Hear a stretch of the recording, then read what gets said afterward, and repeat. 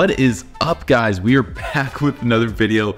Today I'm going to show you guys the behind the scenes of a music video that we shot in 48 hours. It was crazy. There was so much work to do, but the music video turned out amazing. I'm going to take you guys from all the way from pre-production, like location scouting, uh, shot listing, and um, take you through production and camera prep as well so that you guys can see all the steps that I went through to make this music video happen. I had the pleasure of being the cinematographer on this project. I kind of directed too a little bit because the artist was also the director, but that's okay. Um, but I want you guys to see the behind the scenes. It's very raw. There's a lot of good information in there, a lot of fun moments, and I hope you guys enjoy it, and I'll see you guys at the end of this video.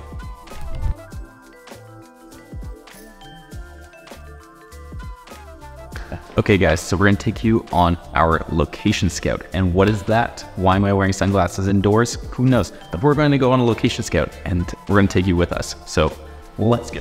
I'm a little cameraman. Let's go. Who, who, who forgot their keys? Whatever. Who forgot their keys? Okay, we got too excited. Now to go back. Guys, welcome. You're back. We're getting my cart.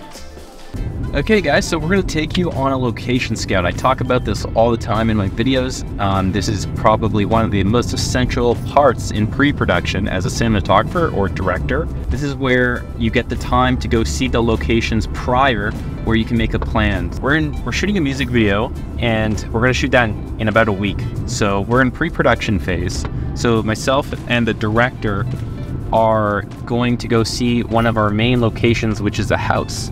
Oh man, that looks cool. Like this is like the framing app I have here.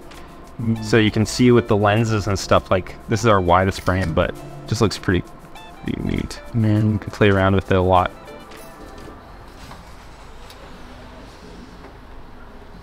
I'm just gonna check out the outside just for like um, logistical things. One thing now, being on this location and seeing this in person, I can see how high the lights have to go to get it through the window. So I bring my lasering measure tape, I turn her on, and then I just measure it. The distance, 15 feet and six inches. There's some really important things to keep in mind when you're checking out a location, like where are the windows, how high are they, like can you get stands up there? And most of the time, like when you move on to bigger things, you'll have lifts. So yeah. So here's another thing I'm going to do. Measure the floor to ceiling height. To see how high, if I need any rigging. So it's eight feet, 11 inches. And then also when I see the location, I look at the rigging that's already in here. So these beams here could help me potentially rig up lights, cameras, whatever I need. Um, so these are really important things to keep in mind as well. And then also kind of seeing where all these windows are here. So, and keeping in mind where the sun's going to be. So the sun sets over there in the west. So you can see that the sun will come directly into this room around 6 p.m. So um, that's a, another thing to keep a, a note of. So now I'm measuring the length of the window here. If we can all shoot during the day, I cover this full thing in black fabric. So I now know it's 23 feet long. So if we wanted to shoot a night scene during the day, I would need at least 23 feet of black fabric negative fill to put onto this window so that I don't let any sunlight in and so it will look like nighttime. So, so these are things that I can plan out in my head prior um, instead of showing up on the day and not having the equipment for it. It's a framing app where you can put your camera settings and your lens settings here and you can find frames at locations, take pictures of the locations so that you can create your lighting plans and stuff. Very cool. Standing outside a window. Yep. Do you think it will kind of good or like you also like this kind of Uh, we could totally cheat it. Like you know, like you could have whoever's in the bedroom's reaction, mm-hmm. and then cheat the the background out front. True. You know? True. But we also need to get her looking at, like from my perspective, looking up. Yeah, yeah, yeah, totally. So like you have her looking. So say she looks left to right, camera. You just do the opposite for you when we're looking down at you. So you look right to left, and it will cut perfectly.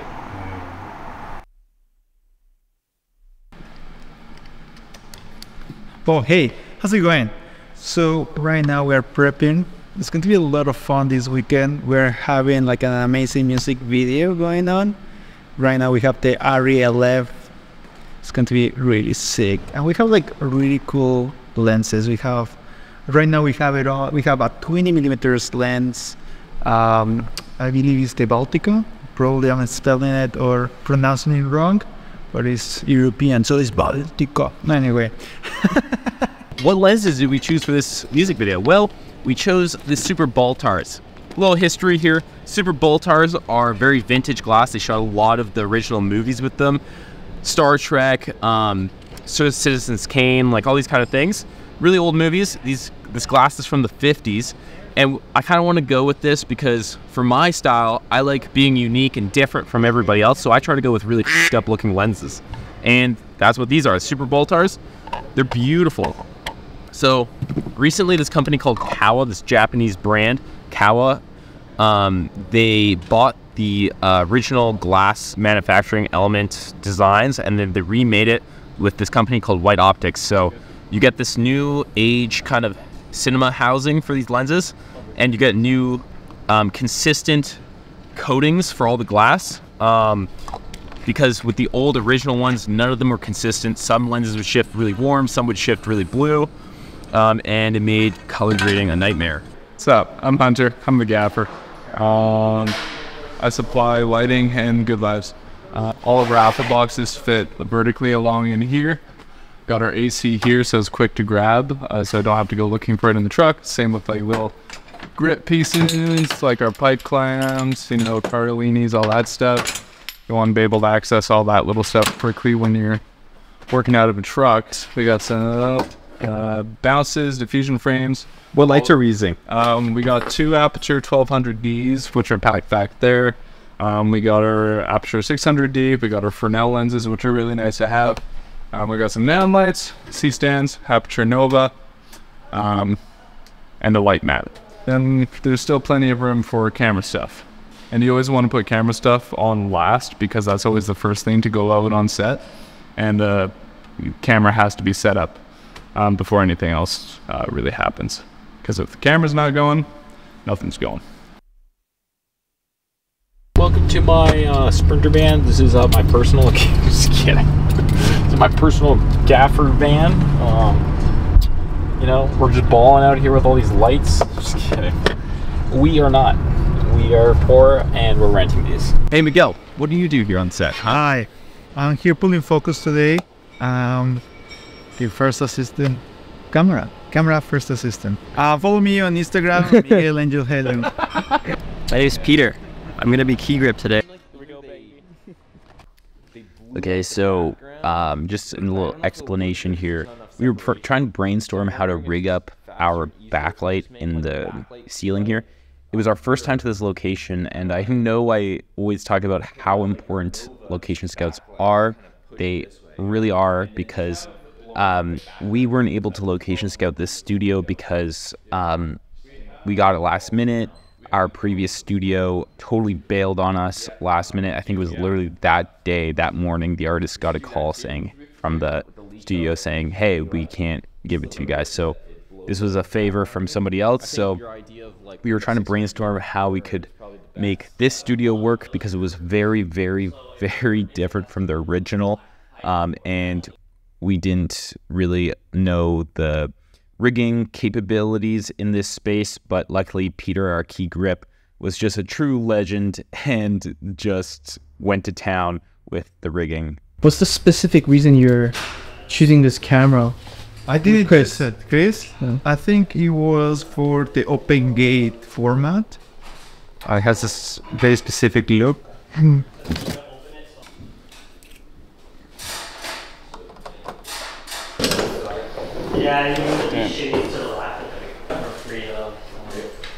So what's going on here, Chris? So we're setting up the next scene here. We're going into some cool uh, TV scene. We're gonna set up the set right now. I'm gonna put the TV here. He's gonna be sitting here. All we're gonna do some cool steady cam shots, and then we're gonna go back and do some tripod shots, and then we're gonna go to the next location, and it's gonna be unreal. Yeah? Hey, Miguel. Okay, so what I'm doing here is I'm taking light meter readings of the light values of my backlight just to know how much light I'm getting. So with these high contrast scenes here, um, we're playing with just a backlight. So that's how you kind of get that three dimensional like um, look to an image is like having just a backlight, right? Because then you have shadow facing the camera, and the shadow is what's going to make things look three dimensional and give that depth to it. So, anyways, we have this backlight, and it's quite a high contrast scene. But what the Arri is doing really beautifully is still holding so much information in the shadows, and the shadows almost seem a lot softer.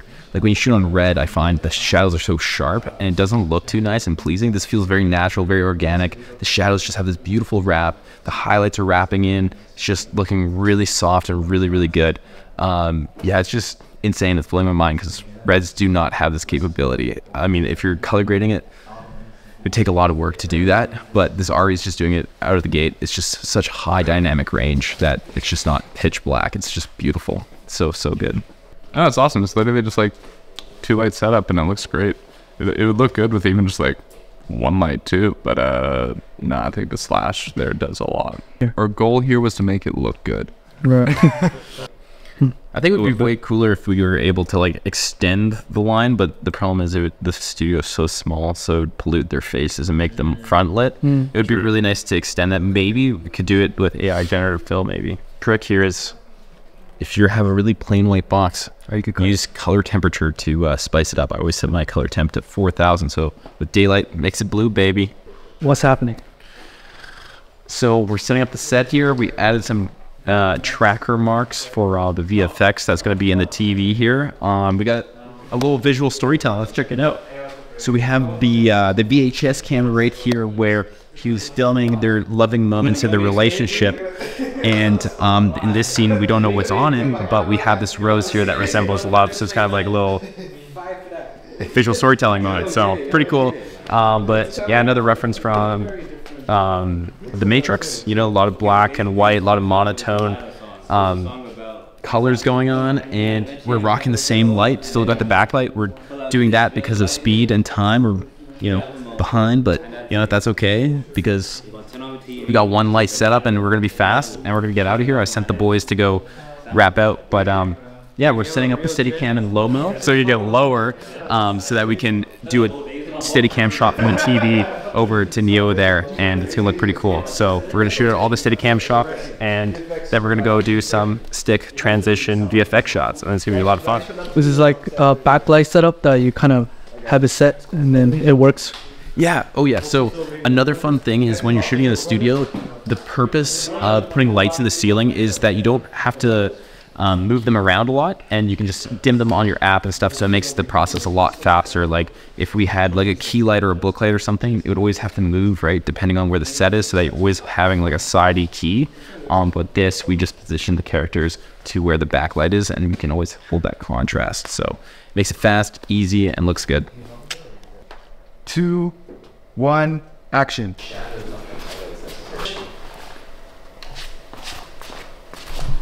That was perfect. And three, two, one, action. And push. Nice. That was the framing- framing, the framing Look at that bokeh. That's crazy. Dude, that Morpheus, yeah, that'd be kind of sick if you start with that track, zoom yeah. out. You're Are we gonna- sitting on the TV, something, like like, zoom out they'll be able to again. mask out with the shadows and everything. That could, because then you're keeping that Bro, matrix. 100K beat. track, they sent me just a yeah, TV yeah. You get some like nice return from these white floors. Yeah. Oh, tons of return. Yeah. Especially with just that. Like it gets rid of like the eyebrow shadow, like eye socket shadow. Found a room with some really cool light, and uh, we're going to try to get it before the sun goes away. So what's happening, Chris? So I found this room, and uh, there's some really cool light happening right now, and I thought it would be kind of cool to shoot like a, a random little performance scene in here because I think it's going to look pretty cool. So it's happy accident. It's looking pretty cool with the hard sunlight here on this wall and with some haze. It's, it's going to look awesome. Yeah, these these are the best moments, man. It feels like yeah, just working with Mother Nature because she gives you some pretty cool moments with lighting that uh, when you can capture it right, it's it's awesome. Like this would take a lot of work, like a lot of like big lights to get this. Like I've tried replicating this with like huge, huge lights, and uh, it's a lot of work. But when you can get it, and it's like the perfect position of the window versus the sun, Okay, guys, we're back with some more commentary. We're into the next location, and um, yeah, basically what's Yeah, yeah, happening come- come in. here, we found this cool garage and the location scout, and um, the lighting setup was pretty simple. What we did was we blasted a 1200D as hard light through that window to get that really amazing volumetric lighting, and then we just had a light mat to wrap that key light around. You can see on my left side that there's a light mat. Um, and we're doing a lot of handheld in here because he got kidnapped and he's tied up to the chair. So um, we kind of played around with some fun handheld. Um, another fun thing about the Alexa Mini LF, it's just so, so heavy and perfectly balanced. That handheld's so amazing. Um, here we're um, setting up a window shot. Basically, um, there's the girlfriend looking through the window at him. And uh, now this is a really fun scene in this room. Um, this was a beautiful scene and a beautiful room. And basically, we just had the 1200D pushing through that window.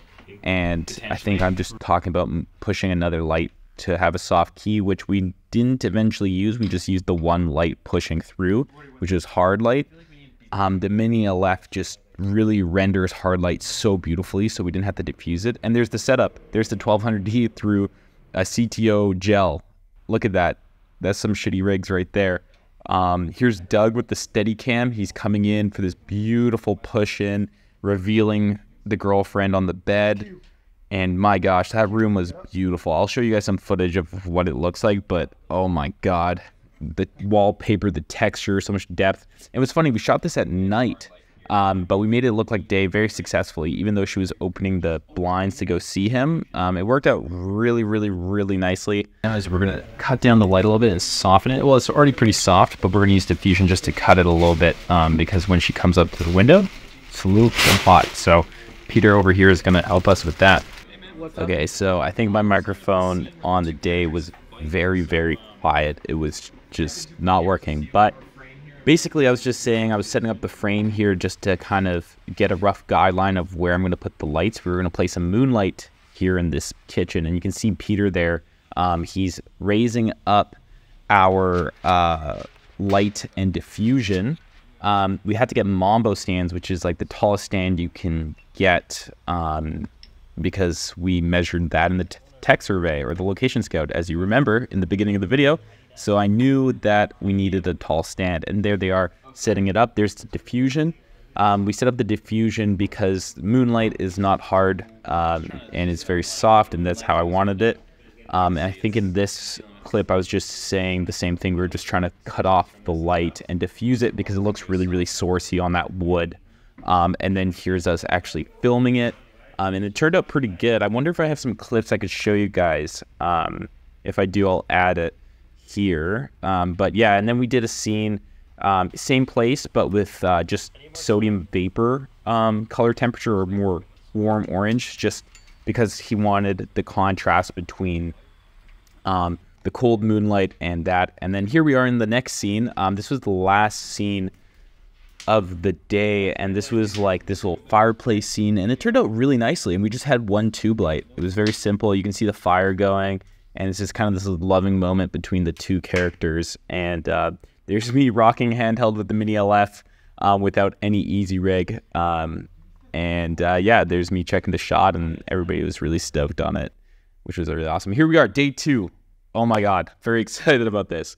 Okay, so we started in this bathroom, and what we're setting up right now is this thing called a polecat. So a polecat is basically this big pipe that you can um, squeeze between two pressure points, and it uses pressure to basically stabilize and hold in place. And what you can do there is rig up a light, and we rigged up a tube light. Um, and the reason why we did that was because the Steadicam was going to do a 180 around the character, and we there was nowhere to hide the lights to make the light nice and backlit. So you can see here, there's the light rigged up. There's me trying out the frame to see if I would see the light, um, and there's Doug, you know, getting ready with the Steadicam. Just an awesome Steadicam operator. If you guys are ever in Vancouver, Canada, you need to hire him. He's phenomenal. Um, but yeah, that's the bathroom scene. He's just balancing the Steadicam. Um, you know, there's tons of little spots where you have to balance it. Um, and then I sent my gaffer Hunter to go pre-rig the next scene because we were a little bit behind, so I just wanted to catch up on the schedule. And what that is there is like a menace arm, but it's called a junior boom. One of the most handy tools ever. Um, it basically allows you to extend a light above the set. So you can see right there, it allowed us to extend the light above the set so we wouldn't see the light. And there, there you go. There's the shot um, with the light above it, the scene with the light above it, and um, it's just such a handy tool. There's me communicating to Doug what the shot's gonna be. Uh, here's Doug talking about um, him balancing his Steadicam and how the arm that he's holding there, um, the Steadicam arm, how it basically suppresses the footprints, um, and you don't feel it. Not footprints, but the footsteps. And then we chose to put the egg crate or the soft crate or the light tools. I always forget the name. The light tools on that light mat um, just to get the spill off of all those little flower things hanging from the ceiling because it looked really sourcey. And a thing you want to make sure of is you don't give away where your light sources are. Um, and my gosh, this location was so cool like I had my doubts in um, pre-production, but it was beautiful with the Super Baltars. Those lenses have the most beautiful quality and just worked so nicely with this texture. There's me getting a light meter reading again, and we were going in for a close-up here. So we do our wide shot first, and then we go in for a close-up. And with the close-up, I just brought in a diffusion just to soften the light a little bit because the light mat was a little bit too hard. Here's us putting some Vaseline or baby oil on our Laowa 12 mil, and we got the coolest effect. It was supposed to be like a POV shot. You can see us there. Um, there's the setup. We're just just getting this um, really cool kind of blurry effect um, while the steady cam was getting balanced. And there's our last one of our last shots of the day, which was this steady cam shot. And yeah, it worked out so beautifully. But that was the end of the shoot, basically. Okay, guys, I hope you enjoyed this video. Um, I had a blast making it. I know it was very raw, very fun. Um, there's a lot of entertaining moments in there. I hope you guys get a good insight of what it's like when we're working on set.